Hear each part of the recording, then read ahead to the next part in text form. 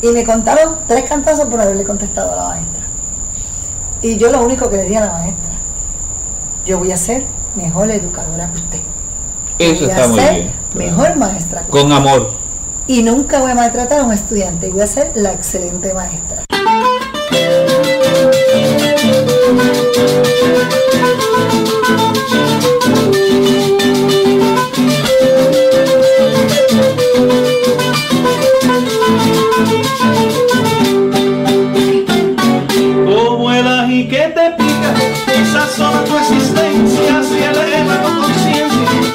Acción te modifica, este mundo se complica y requiere de tu acción entre poema y canción, que tratan de buena gana la literatura te para la revolución.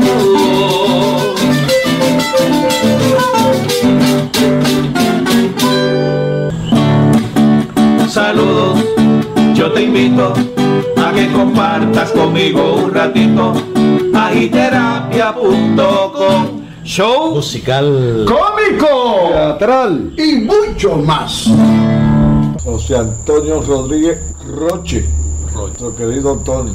La verdad es que eso es una joya lo que escribió. Muy positivo y un homenaje bien válido al- al- a las manos del trabajador, al quien ha mantenido la, la agricultura. Esa- esas estampas, ¿verdad? esas estampas, tanto de, del hombre trabajador con el guayuco, como se le llamaba, como se le llamaba al pantalón que tenía puesto, que casi siempre era un pantalón kaki, gemendado.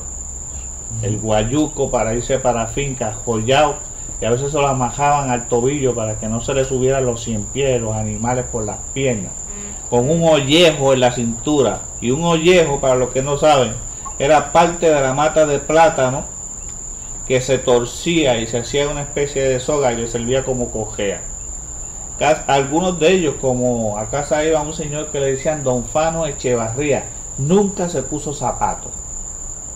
Y andaba bien vestido, muy limpio, bajaba a la iglesia los domingos, no faltaba, descalzo, a venerar, ¿verdad? Su religión, a hacerse las oraciones al Señor, con su guayuco y con su ollejo en la cintura y con su camisa blanca gemangá, blanca de hilo, súper limpia y bien planchada. Eso era un- una estampa que todavía Eso te iba a decir, memoria, una estampa Una bonita Eso, esa. eso sombrerito que la llamaban con Bueno, la burrita, la eh, burrita. la burra. Ah, con una burra, con una burrita burra. puesta. Y, y no, no podemos obviar que también lo hacían de papel. El gorrito Oh, sí, de la también. cabeza. Del bolso este de papel lo doblaban y lo llevaban a la cabeza. Y también amarraban la- la- los sacos de café con el ollejo. Con Se ollejo. roto, Claro, claro. se mojaba y se amarraba. Yo tuve la experiencia de amarrar. Y te digo, chiquita, porque papi decía, para tú amar la tierra tienes que trabajar, para tú ganarte el plato de tu comida tienes que trabajar. En ese, hablando de esas estampas, yo una vez me, me fui de ese viaje que uno hace poético a las estampas puertorriqueñas y escribí esto que dice así. Si me dan un fondo de esa música jíbara suavecita, se lo voy a agradecer. Dice esto.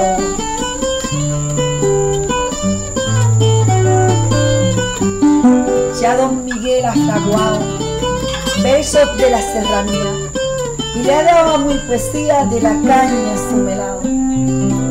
Del jíbaro ha tomado canto del melonal y le dice a su compay, levanta que el sol asoma y baja allá de la loma a disfrutar del café, pues como lo dice usted, no existe nada más rico, pues nació del ay bendito del centro del corazón de este hermoso rincón Juanra que llamamos Puerto Rico. Puerto Rico es cuna de belleza. Yo soy el mismo que antes, allá en el callo del gato, con machete y garabato, zumbaba tajos para adelante. Yo tumbé ortiga picante por dentro de los cubujones y sé lo que son calzones, con gemiendo por todos lados y ver bien estrasijado en la tala a los peones. Miren, yo sé lo que son ronchones de ortigas y pringamosas y el picor de mazamoja fue entre los dos de los pies. Y sé lo bueno que es en un catre estar tirado. Aunque un matre me han comprado, tengo entendido que de spring ya yo no siento en el zinc un aguacero limpiado. Ya no veo un soberano con un, con un molino de maíz, ni una botella de ají para echarle un ajo guisado. Ya no veo acongojado a más nadie en un velorio. Ya me parece un holgorio, sin pena, sin ay bendito. Ya el maquiné de Benito parece un guayuco mortuorio. Ya del gallo de Liborio no oigo el cantío guapetón, ni amortigo en el fogón, una batata mamella. Ya no miro, ya no miro las estrellas cuando hago mis madrugadas. No sé, no sé si el norte es para acá o el sur queda para este lado. Soy un ollejo enredado en esta extraña ciudad.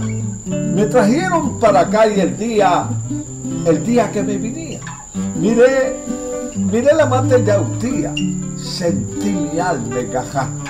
Aquí me enfermo de nada, me duelen las coyunturas. Aquí ya las calenturas me tienen de guayafita y la tos no se me quita. Casi todo el año me dura. Yo me acuerdo que en la altura nunca fui un hombre imprimido, pero aquí el maldito frío ya me está partiendo en dos. Ya siento que oigo la voz de la sierra y que me veo de nuevo en el chapodeo allá en la tala San Pao y que muero arreguindado de mi mata de guineo. Tremendos versos, ¿verdad? Que nos traen a nosotros, los que nos criamos en el, en el monte adentro, ¿verdad? Yo nací en una finca de café que eran 500 cuerdas de café. Válgame Dios. Allí nací con una comadrona en un pasto. A último momento, la comadrona era mi madrina, doña Melín, porque le dijo a mi papá, bautízalo lo antes que pueda, que yo no le veo mucho futuro. Ese muchacho está demasiado hincho. ¿Verdad que esas pa- palabritas, verdad? Yo nací por hincho. comadrona también, Por y ella, Milla fue mi Hincho- madrina. Después de ese hincho papujo. Un pincho papujo, ¿verdad? Yo abrí los ojos a, los, a las seis semanas de nacido. Y ahora los niños tú lo ves que nacen Con los con los ojitos. rapiditos, nutridos y bien Y saludables. se voltean también. Y se voltean rapidito. Una, una comadrona muy inteligente, porque lo de hincho papujo no se le ha quitado, compadre. Oye, todavía, por eso me dejo barba. Pero ima- imagínate que así que, que empezó a hablar a los 10 años. Bueno, empecé a hablar a los 10 años inglés. Pero yo hablaba español ya desde los 5 meses. Si volvemos a los años 1950-55, ¿qué cantidad de puertorriqueños eran pobres? El 90% Bueno, depende, depende de lo que tú llamas pobreza. pobreza material. Que no Porque recursos económicos para Depende de que haya pobreza, porque la verdad, yo creo que había pobreza, sí había alguna pobreza material, económica, pero había mucha, había mucha riqueza espiritual. Por ejemplo, los Había mejores valores para esos años me lo demostró mi querida madre. En casa había una, a pesar de que no éramos pudientes, había una fonda, lo que llamaban una fonda antes. Pero como en la calle donde vivíamos había tanta gente pobre, o sea, económicamente, yo vi tantas veces mi madre, la gente llevaba una latita, porque no llevaban, llevaban una latita y mi mamá le echaba ahí arroz, habichuela, carne y todo de gratis. O sea, en casa mi vieja regalaba más comida que la que se vendía. Eso era de verdad que Cuentan, cuentan de un padre, ¿verdad? Que lleva al niño, un empresario, lleva a un niño para que supiera, ¿verdad? Eh, cómo vivía la gente pobre. Y ve en una familia que la conocía allá en el campo. Y, y entonces una familia campesina lo lleva allá al campo. Y entonces, pues, lo deja un fin de semana. Y el fin de semana, al cabo del fin de semana, él lo recoge. Y de regreso a la casa, el hijo, él- el padre le pregunta al hijo, ¿qué te pareció la experiencia? Bueno, contestó el hijo, con la mirada de ahora, mirando, mirando hacia, hacia el área donde estaba, decía, ¿y qué aprendiste? Insistió su papá, se dijo, que nosotros tenemos un perro y ellos tienen cuatro. Nosotros tenemos un jacuzzi, ellos tienen un río sin fin de agua cristalina donde hay pececitos. Que nosotros tenemos reflectores para alumbrar nuestra, nuestro jardín mientras ellos tienen, se alumbran con las estrellas y la luz. Nuestro patio lle- lleno llega hasta la cerca y de ellos llega al horizonte. Que nosotros compramos nuestra comida, ellos la siembran y cosechan la de ellos. Nosotros oímos CD, ellos escuchan una perpetua sinfonía de golondrinas, ranas, ovejas, eh, y otros animalitos. Nosotros cocinamos en hornos, microondas, ellos todo lo que comen tiene sabor al fogón de leña. Para protegernos nosotros vivimos rodeados por un muro, con alarmas. Ellos viven con sus puertas abiertas, protegidos por la amistad de sus de sus vecinos. ¿Qué ustedes creen de eso? Una lección increíble. O sea, que para que tú veas quién, dónde estaba la pobreza. ¿Dónde está la pobreza? ¿Dónde estaba la pobreza? Porque los supuestos pobres disfrutaban más y eran más felices. En realidad, Porque que- depende de donde esté tu corazón, está tu felicidad. definitivo. Donde está tu corazón, está tu felicidad. Por ejemplo, eso que yo les estaba contando, pues había gente que económicamente no tenían, pues materialmente eran pobres, pero había una madre, la madre nuestra, que tenía una riqueza espiritual increíble, Millonario. millonaria, para poder compartir con toda esa gente que no tenía. La verdad es que mi vieja era Hay, increíble. hay unos, hay unos versos que dicen sobre eso. Y comparando aquella época de que, ¿verdad? que muchos de nosotros vivimos, comparada con la época de hoy también, tú sabes. Y, y- y la vamos a cantar en unos versos. Eso, eso que acabaste de mencionar y que se ha estado hablando del compartir, es lo que nosotros en la actualidad le debemos enseñar a los niños. Tú ves a los niños, Santa Claus me va a traer un fuerte, Santa Claus me va a traer cosas que yo no lo hubiera pedido nunca por el costo que los nenes no ven el valor del dinero, pero los papás le dan lo que el nene pide material.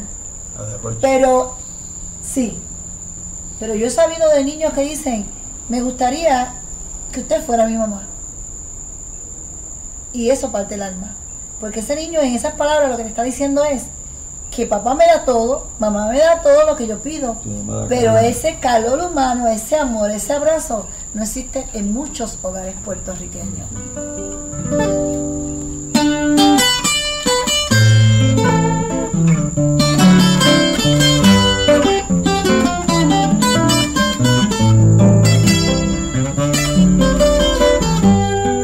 Yo añoro los tiempos míos que en mi vida raso traza, donde un coco era una taza. Y en calabazos vacíos yo echaba de pozos fríos el agua que hoy yo destilo porque la salud vigilo de mis hijos con franqueza. Juan mi niñez fue de pobreza pero se vivía tranquilo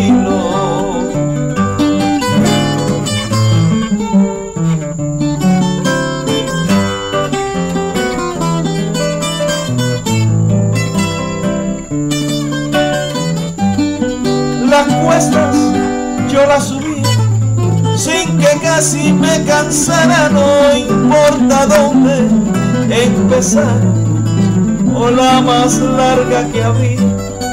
Entonces la vieja mía me decía, nene, te alquilo a echarle al gallo manilo el maíz en un rejón y nadie tenía ambición. Pero se vivía tranquilo.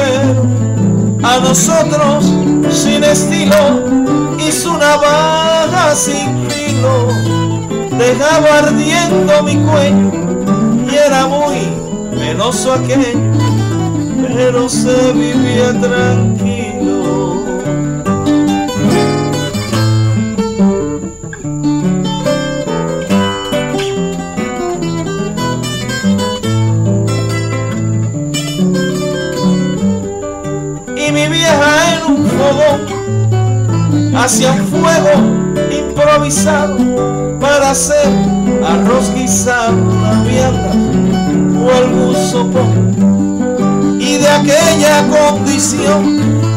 Al hablarles no vacilo, mi padre trae algún kilo de carne para guisar. Había que mucho luchar, pero se vivía tranquilo.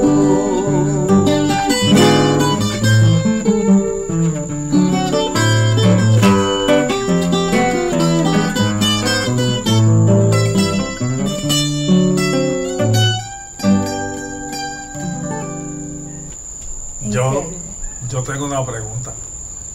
¿Cuántos maestros conocieron ustedes que estuviesen bien económicamente?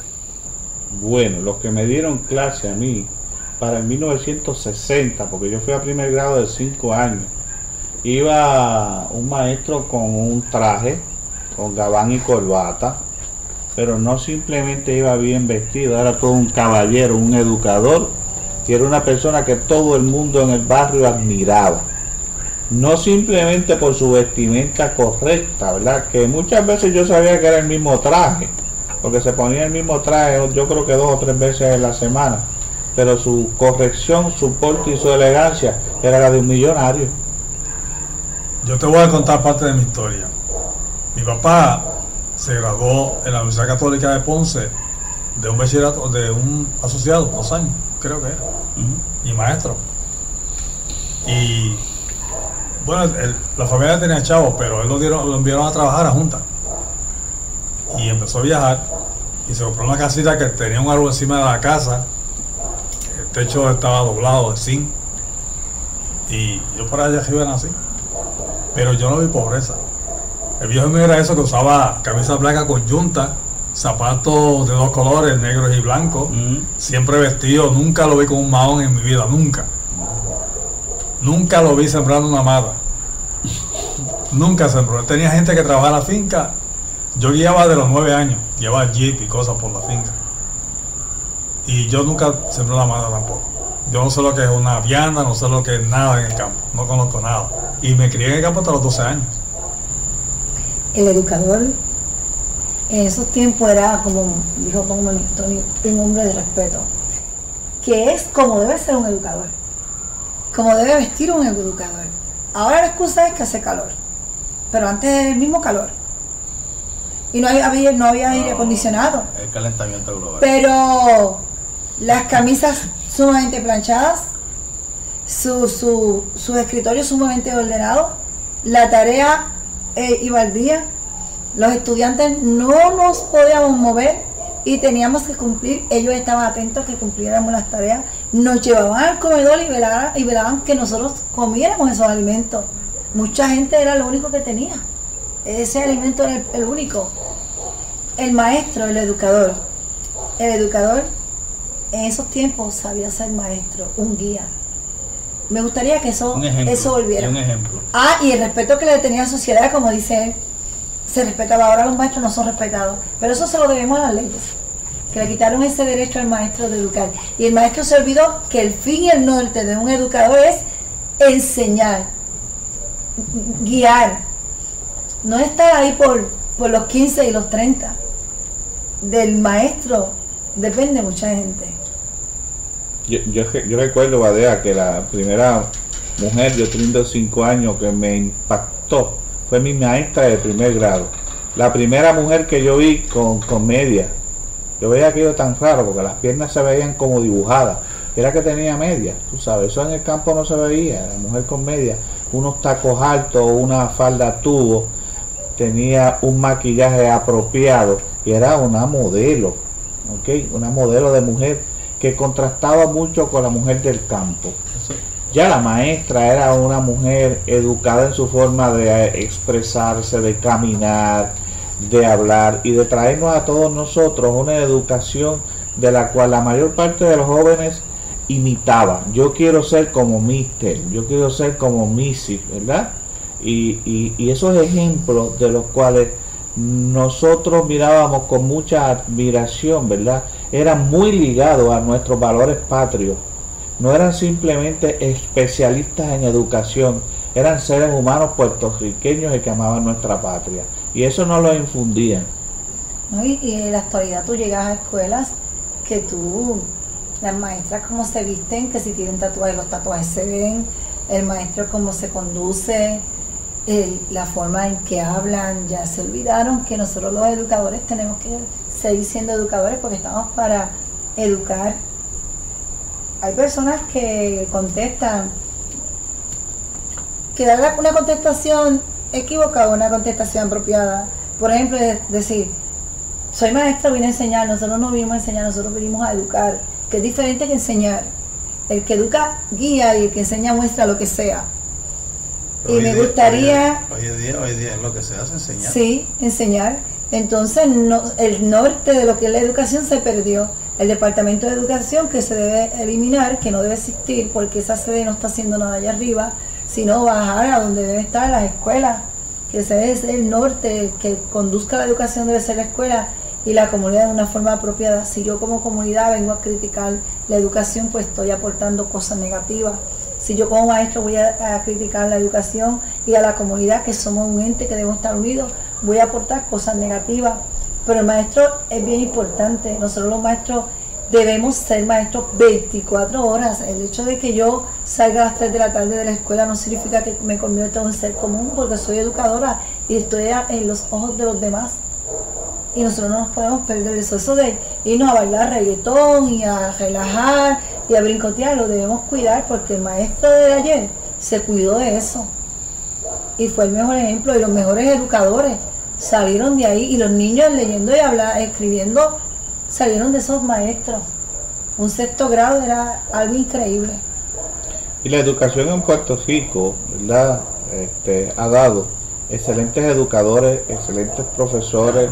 Su obra literaria, ¿verdad? Está en las mejores bibliotecas del mundo, obras de teatro, novelas, etcétera. Muchos de esos jóvenes que se educaron en una escuela cuyos banquitos eran de madera, sin computadoras, sin pisajas electrónicas, pero con mucho respeto y muchos deseos de aprender.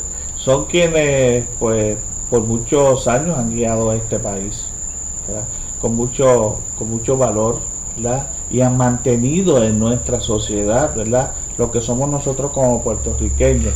A veces pensamos en el aspecto económico. Hay gente tan pobre que lo único que tienen es dinero.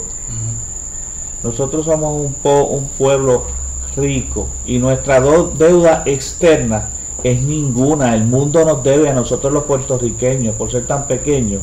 El mundo nos debe a nosotros nuestras aportaciones al gesto. El dinero, yo creo que con lo que se llevaron los españoles de aquí, da para pagar nuestra deuda externa al resto del mundo y nos sobra dinero con el oro que se llevaron.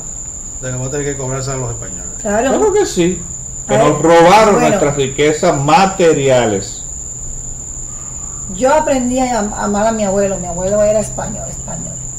Se sentaba en un sillón a mecerse con sus ojos verdes hermosos y esa, ese, ese, esa forma de expresarse diferente, pero era súper humilde.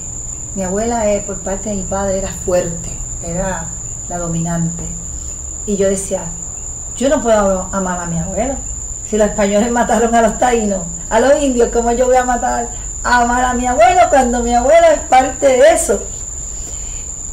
Y mi abuelo me enseñó, mi abuelo me enseñó la diferencia entre yo dudar de lo que es amar y, y de lo que es mantener en alma ese, ese sentimiento de dureza, porque era lo que me estaba enseñando en la escuela, que es lo primero que te van a mostrar.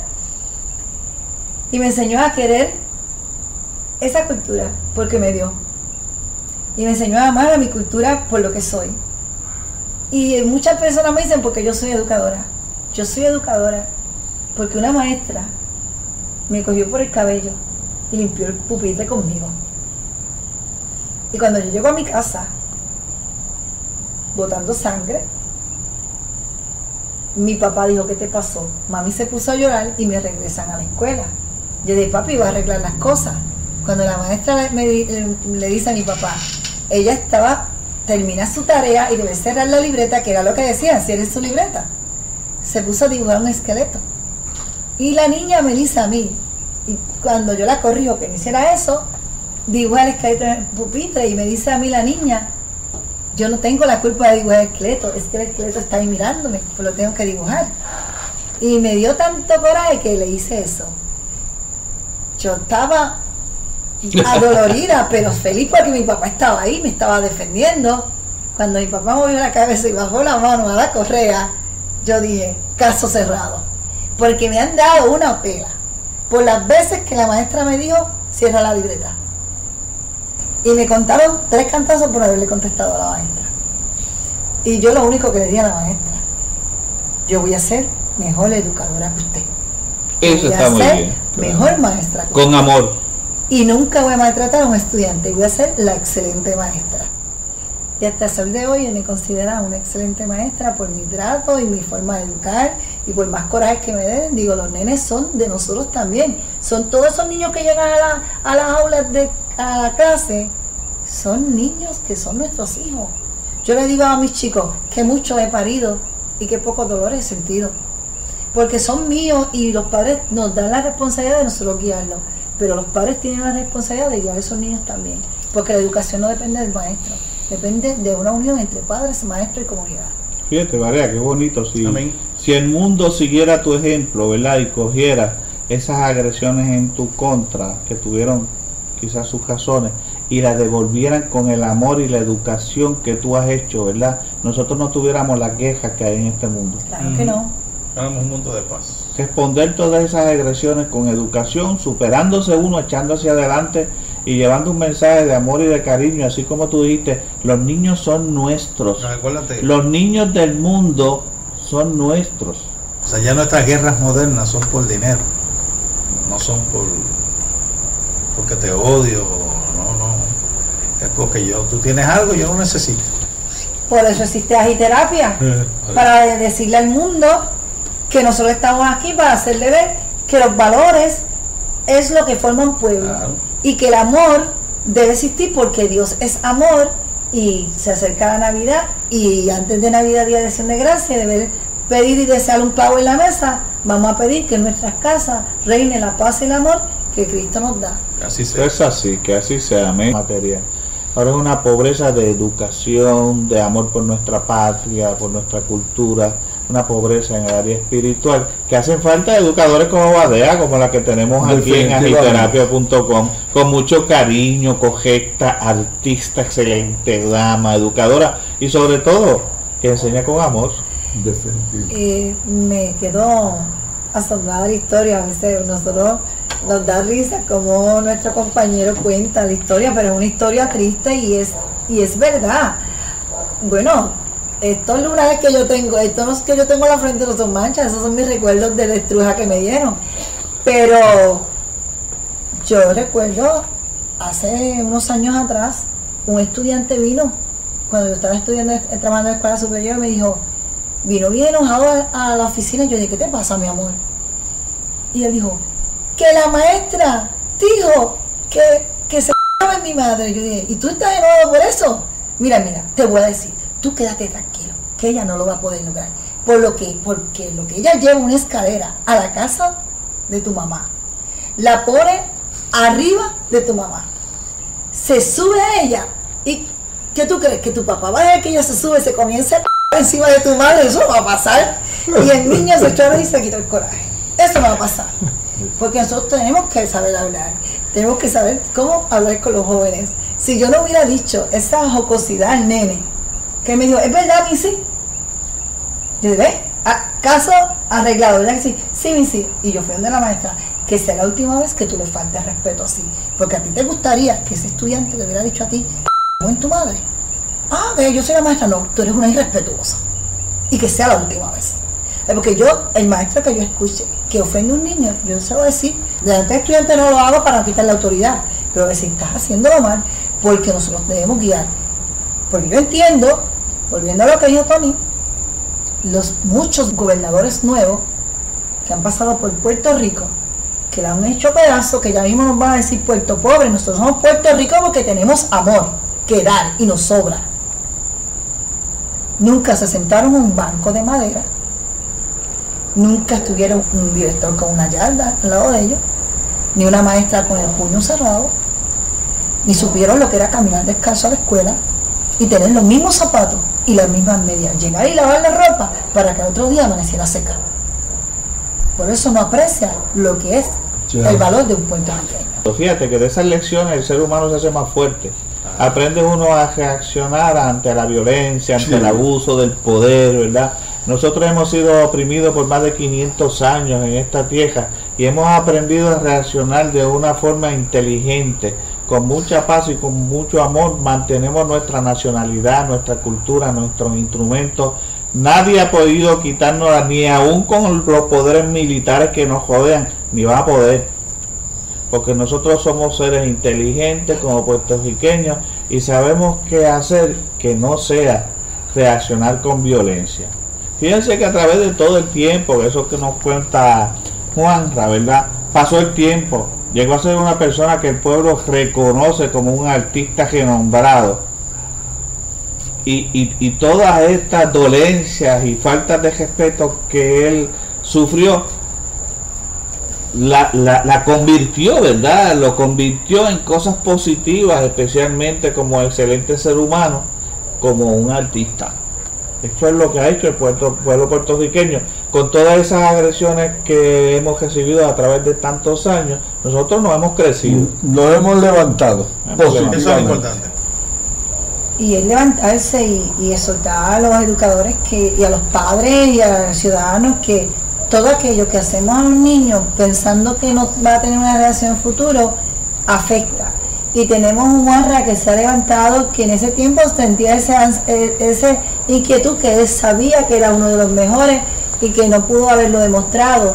Pero nosotros como puertorriqueños tenemos que demostrar que tenemos un espíritu de amor, De lucha. que de lucha, que somos sobrevivientes, sobrevivientes de, de, lo voy a decir, aunque lo vean como una aberración del matacidio que hemos vivido, pero que vamos a seguir hacia adelante con la fe en el Señor que todo va a cambiar. Porque tenemos un Señor que no, un Dios que nos amó tanto, que dio a su Hijo Jesucristo por nosotros y eso no lo, eso no lo cambia la historia, no lo va a cambiar. Y tenemos una historia de dolor, pero tenemos una historia de amor y es que seguimos siendo puertorriqueños. Y seguimos siendo agiterapia. Sobre Eso todo, Tratando todo, claro. siempre de llevarles mucha alegría a la gente. Muchos mensajes positivos. Mensajes positivos.